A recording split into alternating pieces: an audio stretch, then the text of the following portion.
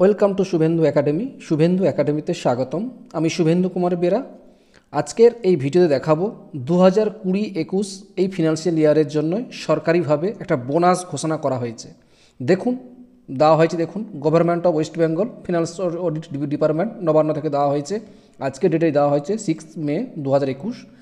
বলা হয়েছে সাবজেক্টে grant of ad hoc bonus of the state government employee and some other category of employee for the year দু হাজার কুড়ি একুশ। কারণ দু হাজার কুড়ি একুশ এই ফিনান্সিয়াল ইয়ার এই ইয়ারের জন্য অ্যাড হক বোনাস ঘোষণা করা হয়েছে। কারা পাবে, কি কি নিয়ম, কত টাকা পাবে, সবগুলো আমি এই ভিডিওতে বিস্তারিত জানাব। ভিডিওটি প্রথম থেকে শেষ পর্যন্ত দেখুন। যদি ভালো লাগে, অবশ্যই একটি লাইক দেবেন এবং পাশে থাকার জন্য চ্যানেলটিকে অবশ্যই সাবস্ক্রাইব করবেন।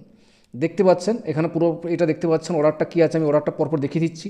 এবার এই অর্ডার মাধ্যমে কারা কারা এটা পাবে এবং কোন সূত্র দিয়ে করবে বোনাসটা পাওয়া যাবে, কত টাকা পাওয়া যাবে, সব আমি বিস্তারিত এখানে বিভিন্ন কোশ্চেন আকারে আমি পরপর করে দেখাবো এবং বলব, সেটা আপনারা পরপর দেখতে থাকুন। দেখুন, আজকের আমি কিছু প্রশ্ন উত্তরের মাধ্যমে কারা কারা এই বোনাসটা পাবে, কোন নিয়মে পাবে, কত টাকা পাবে সব কিছু আমি এই ভিডিওতে পরপর দেখাবো। চলুন প্রথম যে কোশ্চেনটা আমি বলব দু হাজার একুশে কত টাকা বোনাস পাওয়া যাবে?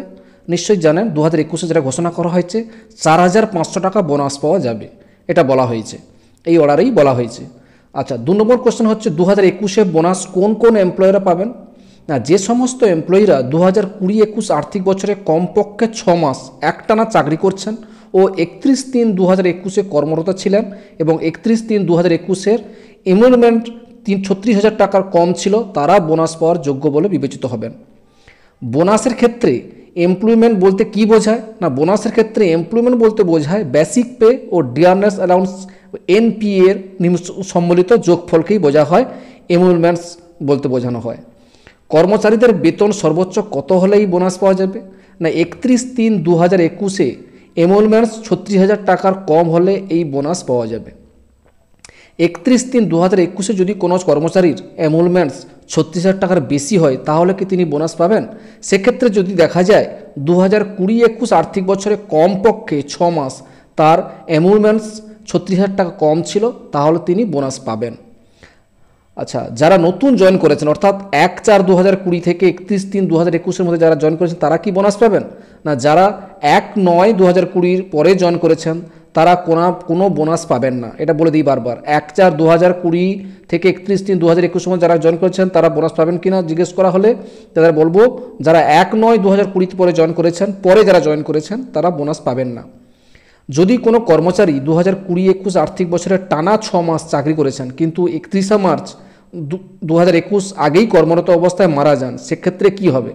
না, সেক্ষেত্রে তার পরিবার আনুপাতিক হারে বোনাস পাবেন যদি মারা যাওয়ার দিন তার বেতন, বোনাস পাবার ঊর্ধ্বসীমা অতিক্রম না করে থাকে। এটা খেয়াল করবেন। যদি কোনো কর্মচারী দু হাজার কুড়ি একুশ আর্থিক বছরে একটানা ছ মাস চাকরি করেন, কিন্তু একত্রিশ তিন দু হাজার একুশ আগেই চাকরি থেকে ইস্তফা দেন, সেক্ষেত্রে তিনি কি বোনাস পাবেন? না, উনি বোনাস পাবেন না। কখন এই বোনাস দেওয়া হয়, নিশ্চয়ই জানেন। না, মুসলিম কর্মচারীদের ক্ষেত্রে ঈদের আগে বোনাস দিতে হবে। বাকি কর্মচারীদের ক্ষেত্রে দুর্গাপূজার আগে, অর্থাৎ সাতাশ নয় দু তারিখ থেকে পাঁচ দশ দু হাজার একুশের মধ্যে দিতে হবে। নিশ্চয়ই জানেন, ঈদটা হচ্ছে চোদ্দ তারিখ আছে, এই জন্য তার আগেই বোনাসটা দিতেই হবে।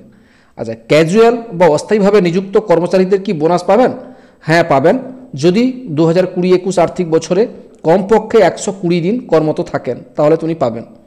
যদি কোনো কর্মচারী দু হাজার কুড়ি একুশ আর্থিক বছরের এক্সট্রা অর্ডিনারি লিভ থাকেন, তাহলে তিনি কি বোনাস পাবেন? না এক্সট্রা অর্ডিনারি লিভের সময়কাল বাদ দিয়ে যদি ছ মাসের বেশি কর্মরত থাকেন, তাহলে তিনি বোনাস পাবেন। ঠিক আছে? এই প্রশ্নগুলো পরপর ছিল। এই প্রশ্নগুলোর মাধ্যমে নিশ্চয়ই আপনারা সকলে বুঝতে পেরেছেন। যে কোনো কি করে, কখন, কোন টাইমে থাকলে বোনাসটা পাওয়া যায়, কি ব্যাপার সব কিছু আমি বিস্তারিত এখানে জানালাম। তার মধ্যে যদি কোনো প্রশ্ন থাকে, অবশ্যই আপনারা কমেন্টে জানাতে পারেন। আর ভিডিওটি যদি একটু ভালো লেগে থাকে, অবশ্যই একটি লাইক দেবেন। সকলে ভালো থাকবেন, বাড়িতে থাকবেন, সুস্থ থাকবেন। অবশ্যই বলব, বাড়ির বাইরে বেরোলে অবশ্যই মাস্ক পরবেন ওকে আর এই অর্ডারটা দেখলেন, এই অর্ডারের মাধ্যমেই সব কিছু বলা আছে। আপনারা এই প্রশ্নের উত্তরগুলো আমি আপনাদের বললাম। যদি কোন তার মধ্যেও যদি কোনো প্রশ্ন থাকে, অবশ্যই কমেন্টে জানাতে পারেন। ধন্যবাদ, সকলে ভালো থাকবেন, সুস্থ থাকবেন।